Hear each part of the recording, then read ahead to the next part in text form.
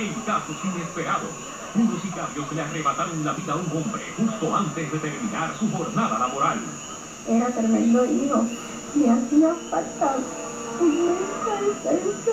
Estos sujetos irrumpieron en su casa, le arrebataron su tranquilidad y a su esposo. Tan pronto se Sin alcanzar todas esas